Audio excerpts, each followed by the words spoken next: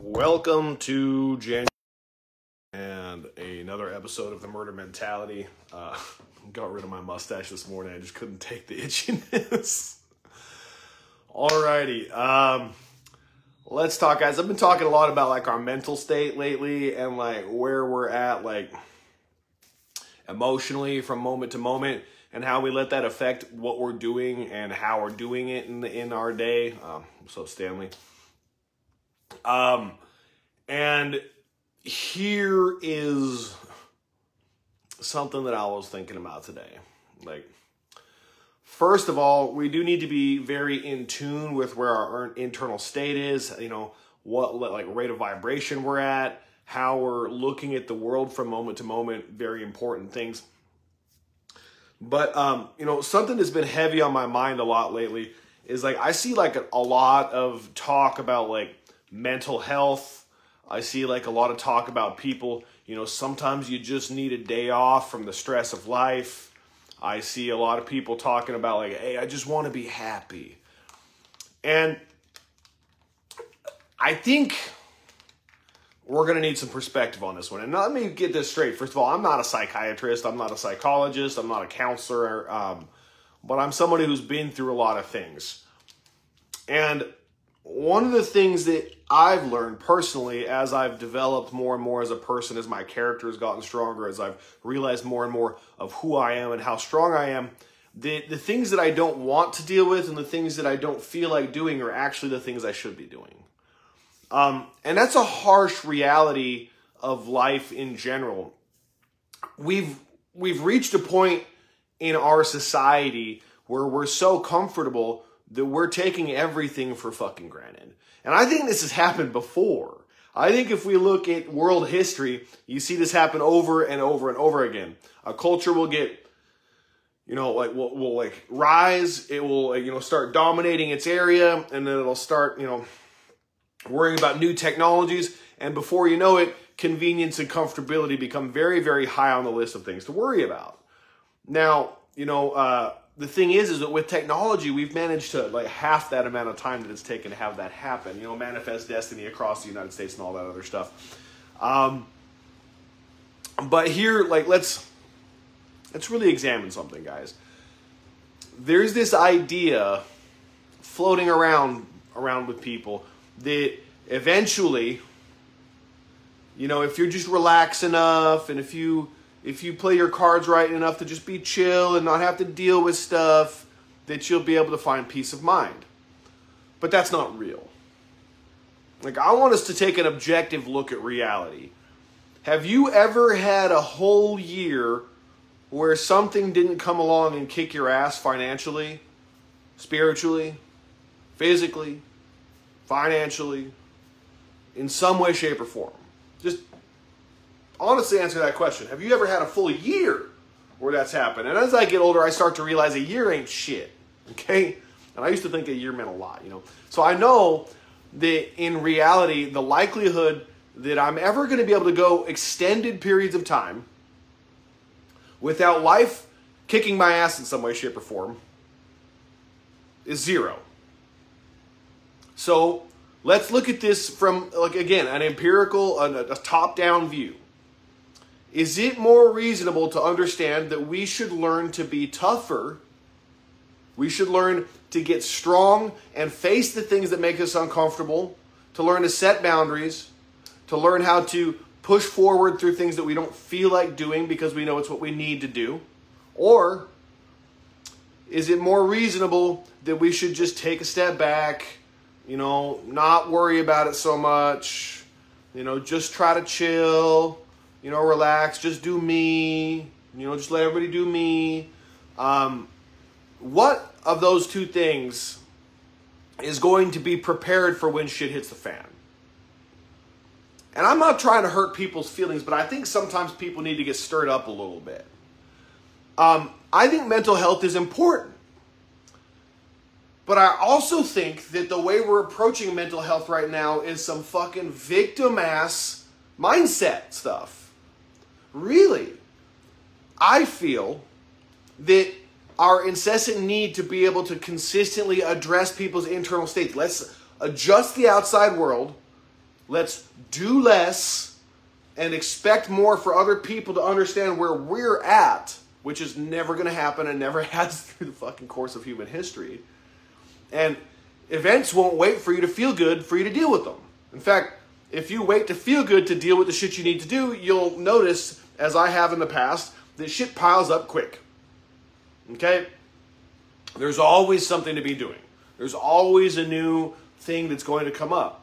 And it's better, I love this quote, it's better to be a warrior in a garden than a gardener in a war. And make no mistake, our lives are a in a state of warfare. We're, we're fighting to stay alive.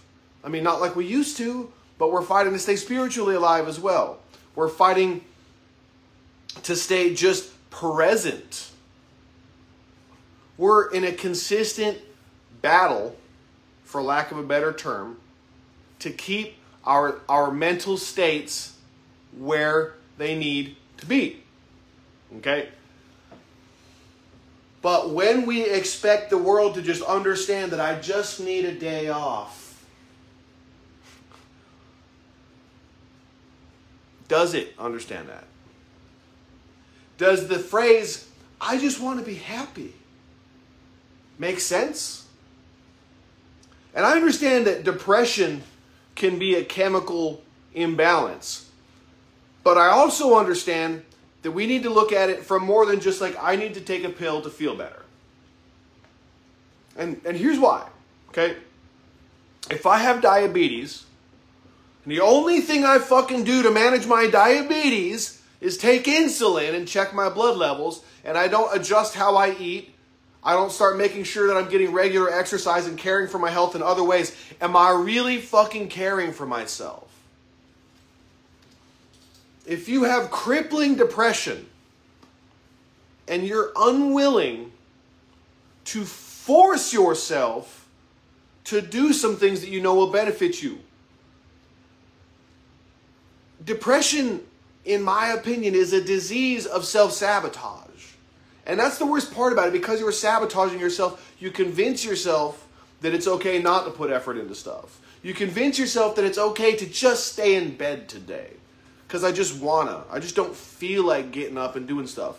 The problem is, is that your life is too fucking cushy and you can afford to do that. We've reached a point in time in human history where you can fucking live your whole life with never actually actually having to struggle to really, really fucking stay alive. If you ever look at pictures of people in the 18 fucking hundreds, they're all fucking rail thin. You know why? Because they were starving. I'm not saying that that's what we should be doing, but I'm saying that we need to recognize that at no point in time in human history has it ever been easier to live. And weirdly enough, no time in human history, in my opinion, have we ever seen people be less grateful to be alive. Have you ever met somebody from a third world country that moves here? Them motherfuckers are happy as fuck. All right? Girl came in here yesterday to get tattooed. She's from Kuwait. If you don't know where Kuwait is, it's a tiny little country attached to Iraq. All right? I think it's northern Iraq. But if you don't know me, I've got four sisters that are all half Iraqi. Okay? And here's the thing I've met a lot of people that are like transplants from other countries, okay? And their first generation, they're still, they're, they're hardworking, man. The people that are born first after the original immigrants, they're hardworking. But what's crazy is that each generation consistently gets more and more like the rest of us because you can't get raised around us without being like us, right? Okay. But that first generation, and this girl was so fucking pumped on life, man. Because in her country, they'll fucking kill you for fucking getting piercings. They'll kill you, kill you for fucking getting tattooed like me. All right?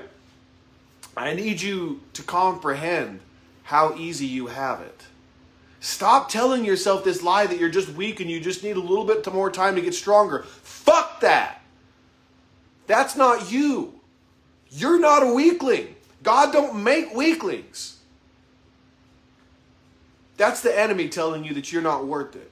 That's the enemy telling you that you're too fucking weak to get out of bed. That's the enemy trying to convince you that you are not a fucking warrior poet born on this world to fucking bring it to a better place than it was the way you found it.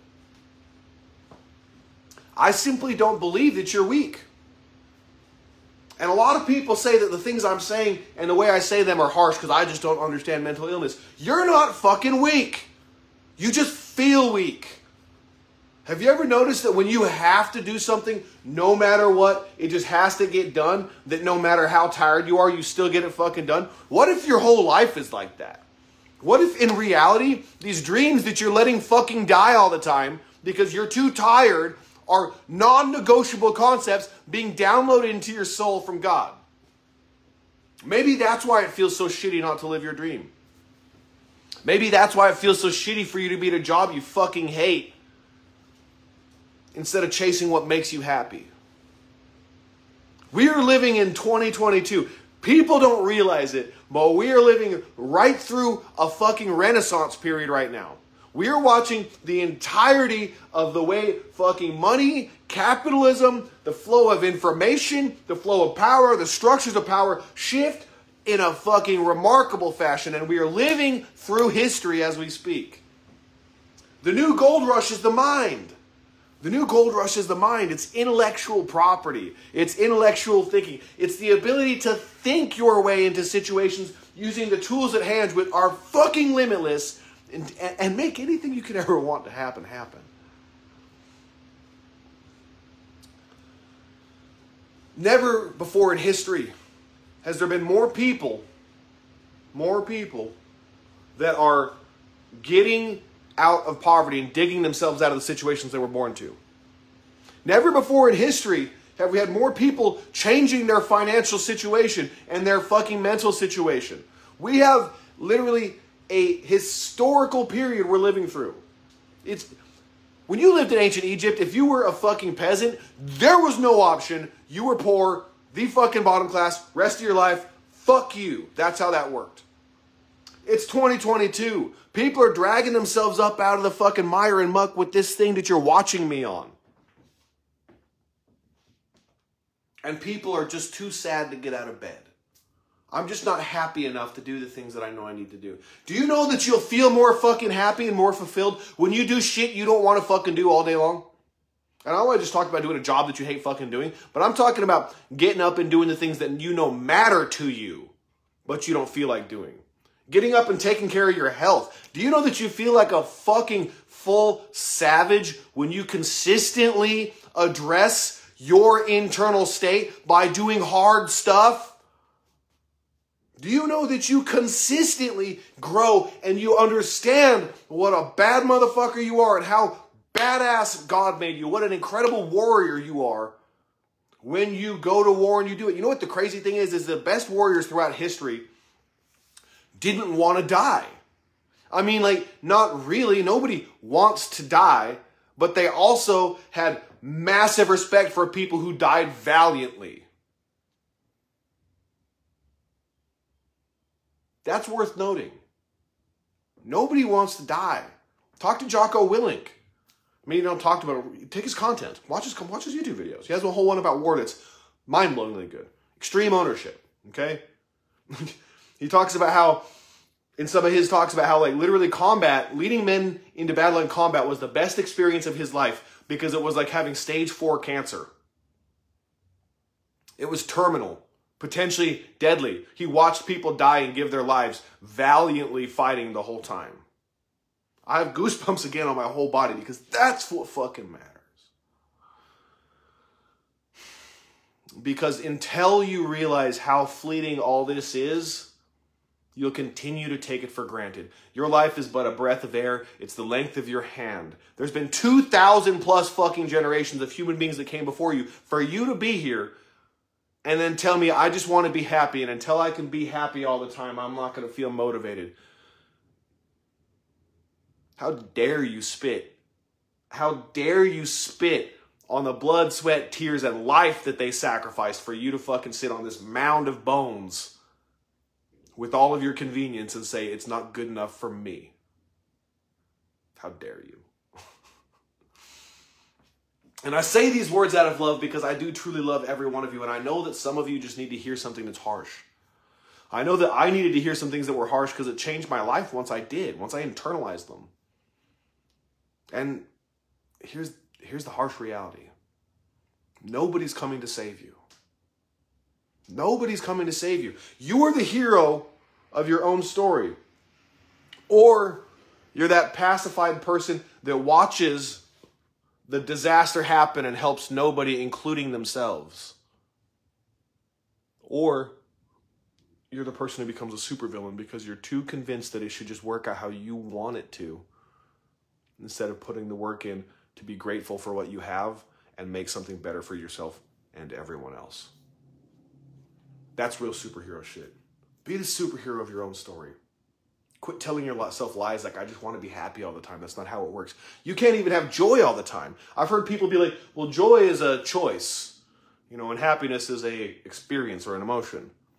Yeah, you can't have those all the time either. You literally cannot have joy 24 7. You cannot have happiness 24 7. The fucking end. The end. It's not how it works. Everything in life exists on a spectrum, up, down, side to side. There is no such thing as happy all the time. And until you admit that and recognize that what you can have is peace of mind, because you are being who you know you need to fucking be, you will never have the things you want.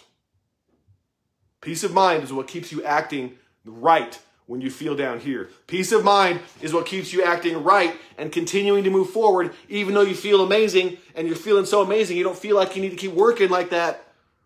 Peace of mind and focus keep you focused on God, your creator, the master blacksmith of creation, who is forming you into a beautiful tool through your experiences instead of the experience of being struck with that hammer and formed into that tool. And Stanley, fucking amazing, bro. I love you big time, homie. All right. love you all. I'm also excited to mention, too, though, that I have started clearing my schedule starting in February, gave myself a little gift of giving myself time to work on my other projects. So I'm going to be stepping that coaching shit right back up. Um, I'm going to be able to give actual serious time to that stuff, and I'm super excited about that. Um, I've had some old people reach out to me, and I'm really, really excited to be re-involved in that stuff. You know, it's just uh, just like you guys, man. Like success and happiness is a is a spectrum. There's not just like a, a benchmark for it, and I'm learning alongside you guys. But I want to be vulnerable enough to learn with you and from you, and teach you, and all of those things at once, and have us create a group of like-minded people together that will absolutely crush at just being authentic. I love you guys. Now be authentic, be real. If you don't feel good, that's okay. It ain't okay to stay there. If you don't feel like it, it's okay not to feel like it. It's not okay not to do it because you don't feel like it. So let's get that shit the fuck out of our heads and let's move forward, guys. Love y'all.